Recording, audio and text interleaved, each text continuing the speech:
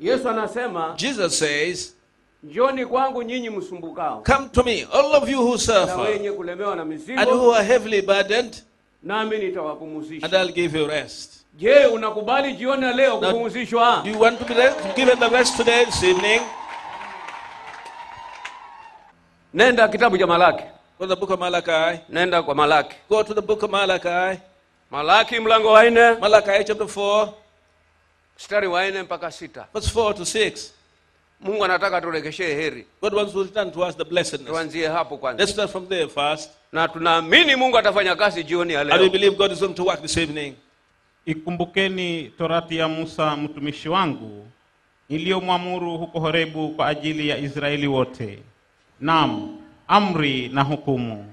Angalieni, nitawapelekea Eliya nabii kabla haijaja siku ile ya Bwana iliyokuu na kuogofya, naye ataigeuza mioyo ya baba iwaelekee watoto wao na mioyo ya watoto iwaelekee baba zao, ili nisije nikaipiga dunia kwa laana.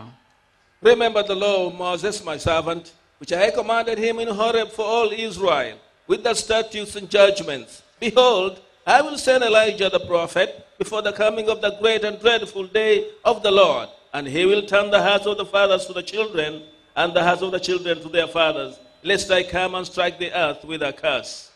dunia The earth ina mapigo mengi sana And so many calamities indeed. hata nyinyi mnayaona. In fact, you're seeing them. Ni sababu mwanadamu amemwasi mungu. Because the human being has rebelled against hasa kwa sababu alimwasi mungu And because he rebelled against God, mungu hakuficha. God didn't hide it. anasema kwa sababu hiyo He says, just because of that, dunia nitaipiga kwa lana I'll strike the earth with a curse. leo watu wanalima hawapati kitu Today, people are cultivating without reaping wanafanya anything. biashara They are doing, doing their business without any vita progress. pande zote There's so many fights and wars over all turudi kwa sides. sababu Let's return mungu because anasema God says, kabla ya mambo hayo yote before all those things, nitamtuma mhubiri I'll send a preacher. Ili ikiwezekana So that if it is possible, moyo wa baba urudi kwa the mtoto heart of the child, the father moyo wa the mtoto urudi kwa and baba the heart of the child return to the father. kuna watu wanalala mji mmoja wanakaa mji mmoja The people who sleep and stay in the same home, lakini hutasikia mtoto anasema baba but you'll never hear a child saying, Father, amwambie shikamoo and say shikamo to him. hakuna hiyo There's nothing like that. kuamuka na kwenda tu it's just waking up and going. baba akisema unaenda wapi If the father says we're going to, silikuwa nataka nikutume I wanted to send you. Kwamba "Ah, natosha hii He said, no, that's quite enough. ulinituma tayari wiki zote hizi basi You sent me already. Huyo. Those weeks, that's the end of it. I said, he goes away. basi umasikini wote wa dunia hii unatafuta mtu kama huyo Then all the poverty of this earth is looking for such a person. lakini watu wa mungu But you people of God, yesu hakukaa msalabani bure Jesus never stayed at the cross for nothing. alikuwa anaunganisha then uniting waya yako wewe kwa mungu your wire to God. Ili So unapomuomba apate kusikia When you pray to him, he may be able to hear you. roho ya lana The spirit of curse. una baba You have a father amesinywa kule moyoni hata kukuangalia hivi nataka ufe who is so fed up with you in his heart until when he looks at you, he wewe have you to die. ukimwangalia baba hivi And when you look at your father also, yule. you say, that one, nitamaliza I'll finish him. sasa watu kama wanania hizo mbaya hizo Now if people have those very bad minds, mungu hawezi kufanya kazi mahala kama hapo God cannot work at such a place. Amen Amen. hawezi He cannot. kizuizi cha mema The hindrance to anybody's good, maisha mazuri ya mtu the nice life that one can have. ni sababu ya dhambi ya is lana because of this sin of curse. nyinyi hamuna amani mli- wale wasee mliwafanyaje What did you do to your old people, wale wazazi wale those parents? mliwafanyaje What did you do to them? yeye nakutuma He sends you out, unamwa- unamwambia nenda mwenyewe but you tell him, you go on your own. Sasa mtoto wangu sini mbali kule But that's far, my child. ah, fanya mazoezi No, you can practice now. wow. What? siku inakuja ndugu A zangu is coming, my dear brethren. tutubuni jioni ya leo Let's repent this evening. anasema He says, eh, yeah, atarudisha moyo wa baba kwa watoto he'll return the heart of the father to the na children, watoto nao moyo kwa baba and the heart of the children to the father. hata unaita mtoto anaitwa When you, a child is called na baba by the father, fulani so and so, anaitika vile baba anataka he responds and does what, what the father wants. hamjaona furaha ya wazazi You haven't seen the joy of the parent. haya maneno bwana asikia haya This was you're hearing right now. wewe wewe yajaribu tu You just go and try them. unaenda huko na kwenda vibaruani You go to where you want to go to. to, to. ukirudi When you return, haya una fungu la kamba okay, you have some prawns na limau and, and, and a bit of lemon. unamletea baba You bring it to your father. halafu unamwachia shilingi hamsini And then live with him some 50 bob. ni za nini What for? ni akiba yako mfukoni mwako It's just the saving of your pocket, father. kwamba ni He said, Let mwanangu me shake me a hand, son. And he said, You grow up there. ndivyo hufanya wao That's what they do. lakini una uchungu na But baba I'm so bitter against your hata father. mimi niko hapa now that I'm kama here, nina uchungu na baba if I have any bitterness hata against my father, nikahubiri hakuna kitu even if I preach, there won't be anything at all. Nina baba. But I have a father, na ni wawili. And there are two. baba aliyenizaa kimwili na wa roho. My, the father that gave me uh, in, the, in the flesh, and na the spiritual one. watu wawili hawa If you have these two people, utafaulu you'll succeed. amen Amen. utafaulu You'll succeed. ukiona njia zako ni ngumu See, your ways are so hard. rudi polepole Just return very slowly. ulimfanyaje baba What did you do to your father? ulimfanyaje What mama did you do to your mother? haya Okay. nikashuhudia kule eh, arusha I testified in kwa Arusha sababu ni maneno ambayo nilikuwa nimeyajua because that was which I had known.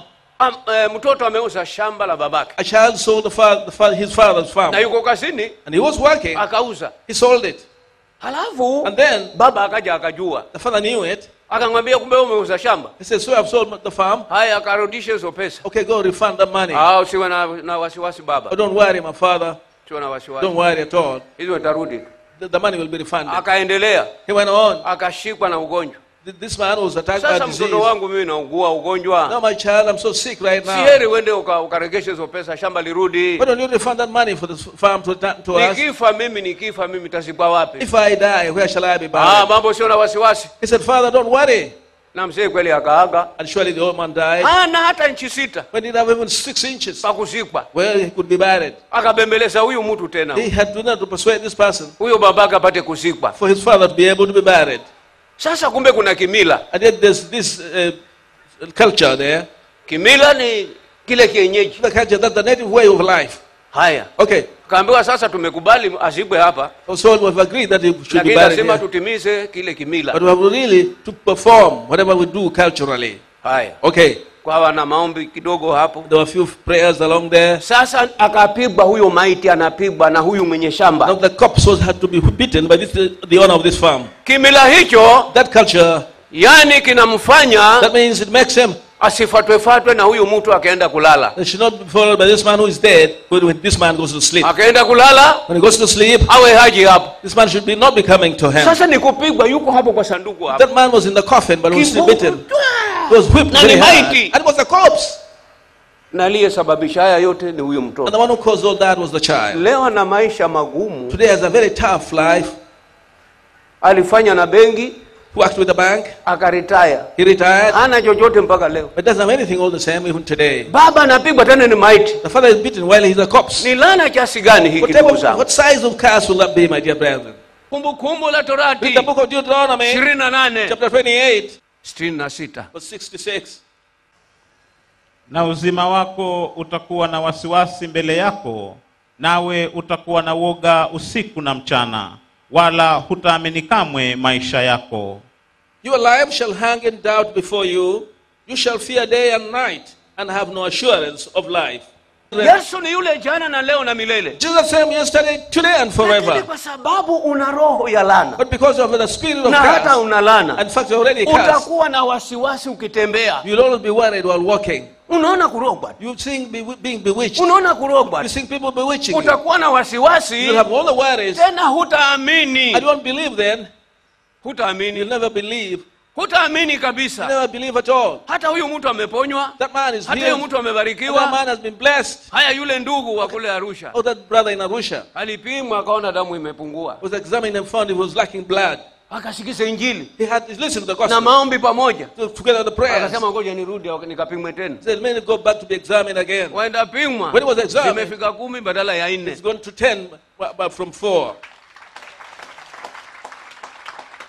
si aliamua He must have decided. alikata shauri He must have resolved. kwa hivyo jioni ya Therefore, this evening, injili bado the itahubiriwa gospel will still be preached. lakini nataka ujue kile chance But I want you to, to know the very ni kwa nini injili Why inahubiriwa is it that the gospel is yesu alikuja ni kama hajaja Jesus came, but Jesus has never come. na alikuja And he came to this earth kuokoa to kilichopotea save the lost. lakini watu hawakutafuta kuokoka But people didn't go for salvation. watu walitafuta uponyaji People just went for, for healing. na ishara ishara za miujiza And so many signs and miracles. wakafikiria ndio ndio uokofu They thought that was the salvation. Ah, ah. Oh, no, no, no. mungu anasema God says, jua hadui yako anatoka you should know where your enemy is from. alafu akasema hadui wa mtu And then he says, one, one's yuko enemy nyumbani mwako is right in his home state, moyoni mwako in your heart, rohoni in your soul. ukijua hilo If you know that, ukitaka kujua hujui if you want to know that you don't know, unasema huyu mama mdogo ndiye you ananiroga say, my aunt is bewitching me. kuna mama mmoja hapa sijui unaitwaje hapa There's one lady somewhere. What do you call it? Uvuni. Kuna mama aliyeshikwa na kichaa kikali the a lady who became very, very insane miaka hiyo ya nyuma in those past years. sasa alisumbuka huyo mama Then that lady suffered so much. wakatengeneza uganga wa kila aina They treated her in every way. akaambiwa bomani kuna kanisa She was told there's a church at Bomani. huyo mzee akatumana This old man sent wahubiri twende kwake for the preachers to go to his place. Tukaenda. We went. kufika huyo mama When we reached there, that lady yuko uchi vile alivyozaliwa was stuck naked the way she was born. Amejaribu mzee wa watu The imeshindikana old man had tried everything possible. There's no tukaliweka neno la mungu hapo We put the word of God there. si maneno yetu None of our words. tukaweka ya mungu We hapo put those of God there. mama yule That alipona lady was healed. eh? Yep. akapona kabisa She hata was leo healed completely even today. Mahala palipo na Any place where there's a curse, hakuna amani there's no peace. ni You'll wasiwasi be worried. sijui I nitafanyaje don't know what I'll do. hata kulala hulali You can't even sleep. mchana na usiku wewe una wasiwasi Day and night you remain worried. ndio sasa unasema mimi si bure Then you say, this is not in na kweli vain. si bure And surely it's not in maana vain. kuna hii lana But there's this curse na unaweza And you ukapona can be healed out of it ukikubali wacha kesho if you agree. It's not tomorrow. au jumapili Or maybe on Sunday. You saa hii hii unaweza ukapona hapo can be healed right there at this time where you are. Inawezekana It is quite possible. lako wewe ni kukubali What you need to do is to agree. umwambie mungu You nisaidie tell God, help me. nataka nirudi kwa baba moyoni I want to return to my father in my heart. nataka nirudi kwa mama moyoni I want to return to my mother in my heart. niyashike maagizo yako Then uphold you- your commandments. amen Amen. kata shauri You decide. unaenda kuomba We're going to pray. iweke tayari kwa sababu mungu anaenda kukupa kile kizuri Because God is going to give you a nice. Let's stand up then, my dear brethren. Tafuta Yesu, oh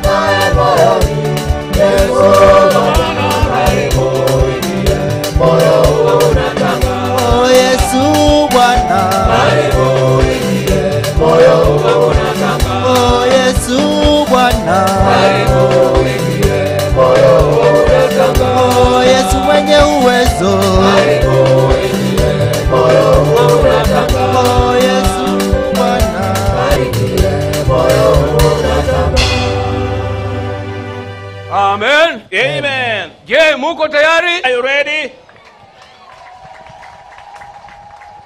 mimi naenda kuomba. I'm going to pray. wakati naenda kuomba. At the time I'm praying, tuwe pamoja we should be together. Kusudi mungu that God may do the same things to us. nikisema utanifuatia If I speak, you do.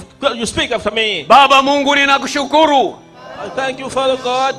siku ya leo This day, umenijalia you have enabled me kusimama mbele yako to stand before you, kulisikia neno lako to hear your word, nipate kuwa huru. that I may be free. unirehemu ee mungu baba. Na unisamehe mungu baba. And forgive me, O kwa makosa. Sina haki. Usiniache nikapotea baba. Unishike mkono Hold me by my hand tangu sasa from now unisafishe and cleanse me na uniponye and heal me kila aina ya udhaifu every type of weakness.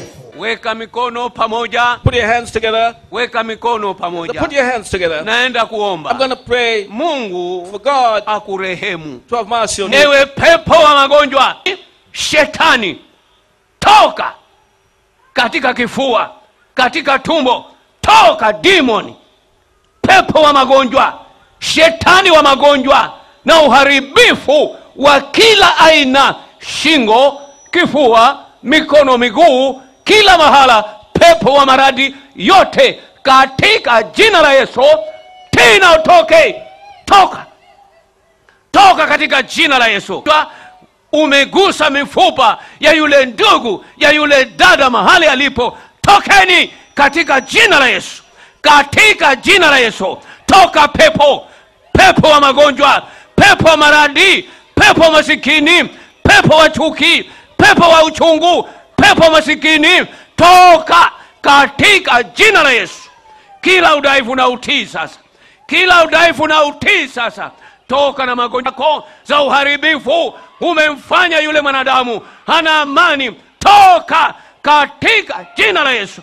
Katika jina la yesu dimoni toka. Toka toka toka. Uko hapo. Kazi zako zinaonekana. Toka sasa. Toka. Toka. Katika jina la yesu. Pepo wa maradi yote. Pepo wa udhaifu yote. Toka sasa. Angalia yule ndu pewa haki yake. Toka. Toka. Katika jina la yesu. Pepo wa magonjwa. Pepo wa wizi. Toka katika jina la yesu sante mungu mkuu. Sante mungu baba na kushukuru kwa kuponya watu wako bwana na kuwaweka huru watu wako bwana ili wakafurahi duniani baba. Maana mioyo ina huzuni ina mashikitiko. Mungu baba ni asante. Na shukuru baba. Uponya hata roho ya uoga. Yule pepo wa uoga toka. Umewatisha wanadamu. Wanachukiana wanadamu wewe dimoni toka wewe shetani toka toka.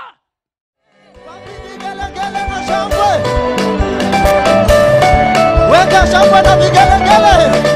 Ah!